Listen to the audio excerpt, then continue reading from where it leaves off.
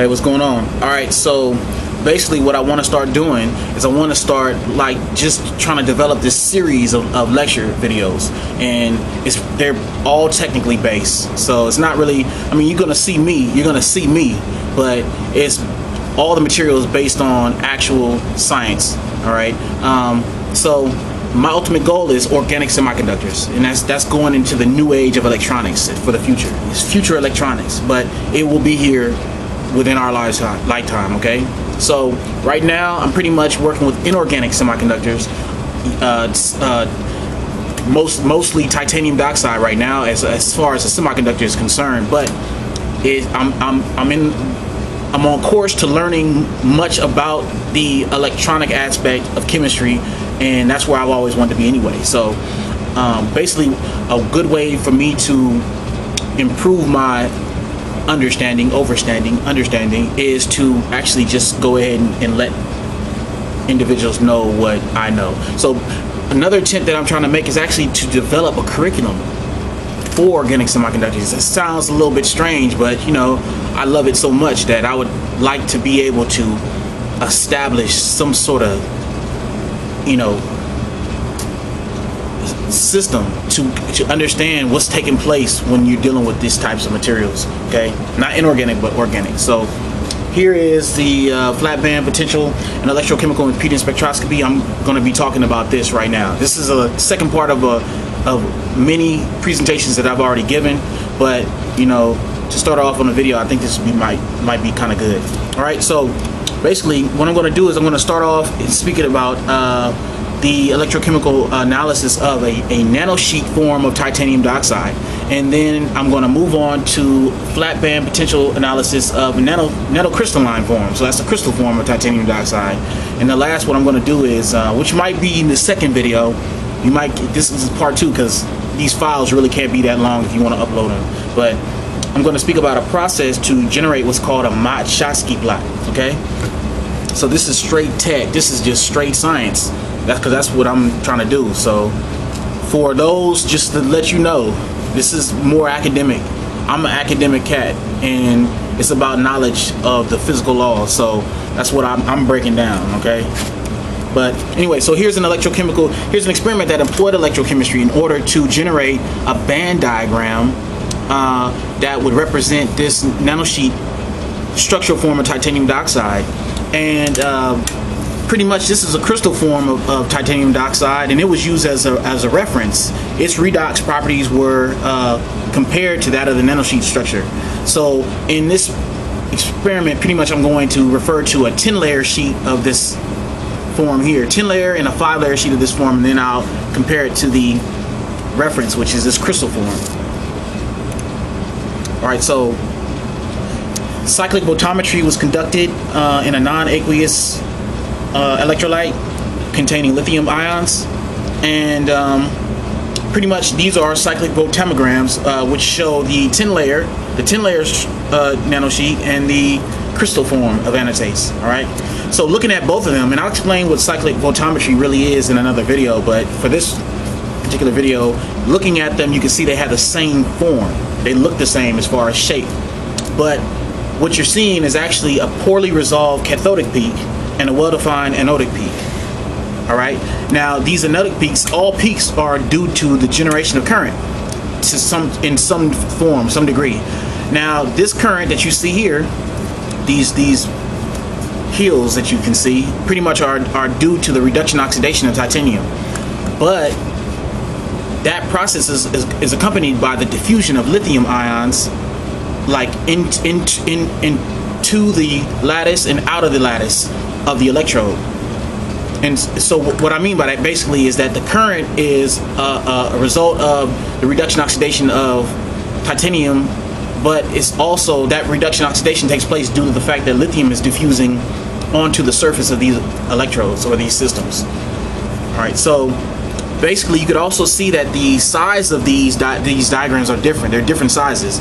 Now that's due to the fact that when lithium diffuses to let's say this this reference here, the crystal, it will diffuse, it will move into what's called an interstitial void onto the surface of, of this structure and fill it. It'll fill that void. But by doing that, what happens is it hinders uh, further or additional lithium ions to penetrate deeper into the three three dimensional framework. Right. So hence the, the current that's generated or that you observe is really representing pretty much lithium populations on the surface of this structure here instead of in, internal current as well. Whereas here, this nanosheet, lithium can not only attach to the external surface portions of this structure, but it could also go internally and attach or or connect with uh, titanium um, with respect to the internal surface area. So hence you have more current generating. Okay. And here is a UV vis. So redox processes affect UV vis, or or pretty much you could observe the system dynamics by UV vis. And this is of the nanosheet. All right, the polycrystalline shows similar. This is this is like electrochromic behavior. Uh, you know, electrochromic. Uh, but anyway, so polycrystalline showed a similar diagram as this nanosheet, and basically in here in this particular experiment, optical spectral uh, optical uh, absorption spectra was recorded after 60 seconds of polarizing this structure at a given potential. All right, it was done at various potentials, and all it the only separate it's like 0.1 volts difference in all the potentials, but it was polarized at at multiple potentials, and then the spectra was recorded and this is the diagram that was overlaid that was generated from overlaying the separate trials. So basically the focus of this data was above and below 323 nanometers. And the reason why is because if you actually look kind of like if you were to i don't know if you can see it because you know sooner or later i'll be in like a, another room with a project, projector screen. I'm going to really try to get that and you can see everything clearly. But anyway as right now I don't know if you can see it, but it's right here. It's like there's a point where the absorption enhancement and reduction it is there's a change in between there. So in that at that at that point it's at 323 nanometers. So above this portion here that you see at the top, that's due to what's called intraband transitions. All right, intraband transitions, they're like let's say for electrons, they're transitions between like the conduction band and the valence band, or they could be between like transitions between quantized levels within a particular band. All right, uh, this is due to transitions taking place within the conduction band between quantized levels. All right, now over here, see, so but the absorption is enhancing. The change in absorption is positive. It's an enhancement, absorption enhancement. Over here is called re absorption reduction. Okay, now the absorption reduction, basically, when when when the absorption is reducing, as you keep you know, making the potential more negative and more negative, more negative, basically what you're doing is you're increasing the band gap energy. So that's what that's usually indicative of. But get this though. So as as you increase the band gap energy, every potential, as you increase it, as the band gap energy increases, while you input electrons, more and more electrons into the conduction band, that's called a, a Burstein shift, a, a, um, a Burstein shift, Burstein shift. All right, it's when you increase, so band bands have ab- absorption edges, and you could increase the absorption edge, the energy of that absorption edge. And if you do that simultaneously as you increase the band gap energy, which actually taking place because you're increasing this edge here as you go further and further negative with the potential. As that's happening simultaneously, that's called a Burstein shift. So that's that's kind of like the dynamics of the system. All right. Uh, so pretty much the point at which the potential at which this optical absorption changes is like the onset potential. It's called the flat band potential. And the wavelength at which it happens would be your band gap energy. Okay, so basically, well, let me go back.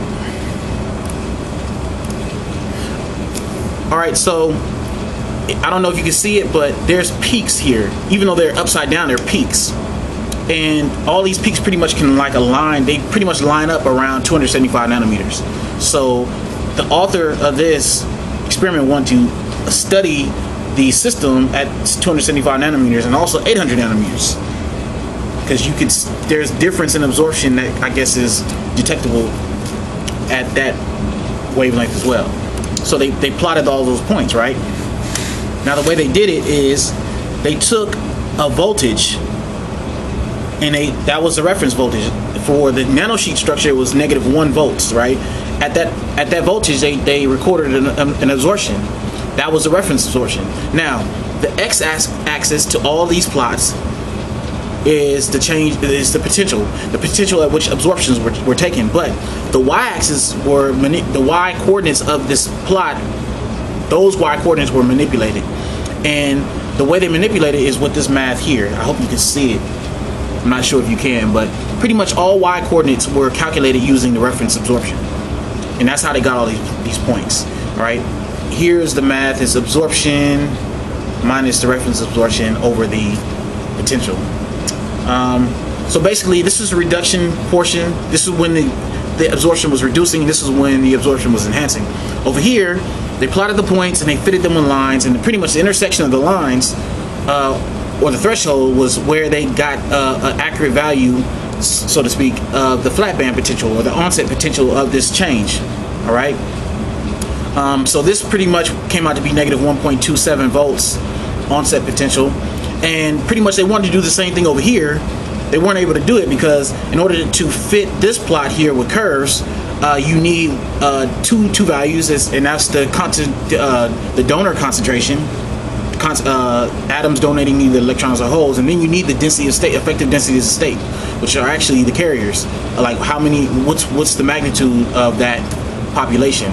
Uh, both of those values can really develop a, a, distribution curve, a distribution of density of states that you could fit to this plot, but they didn't have they didn't have those those original values, so they couldn't do it. I pretty much put this up here to show you that down here, in order to determine the onset potential for the reference, which was the crystal, um, pretty much they had to take a plot for where it was enhancing, the absorption was enhancing and reducing, and plot them on the same plot. And the deviation from those two plots was where they they determined the onset potential. Right, and so for this particular one, it was negative 1.15 volts. All right, um, so finding those values, they ended up with a band diagram looking like this. So the lower edge, the lower edge of the conduction band for the nanosheet structure, the nanosheet was 0.1 volts higher than the upper edge of the conduction band for the crystal. And the upper edge of the valence band for the, sh the sheet form was 0.5 volts lower than the lower edge of the valence band for the crystal. And so pretty much the, the conclusion for this system for the nanosheet structure was that photo photo generated holes and electrons from the nanosheet had more redox power. They had more reduction reduction oxidation power than that of the crystal. All right, so look, I'm, I, I gotta pause here or else I won't be able to upload it. The, the file will be too big. Then I'll just do a part two, which goes into another uh, part of this subject matter, and it's going into actually uh, band sheds. We're looking at flat band potentials. So I'll be right back. Flat band potentials.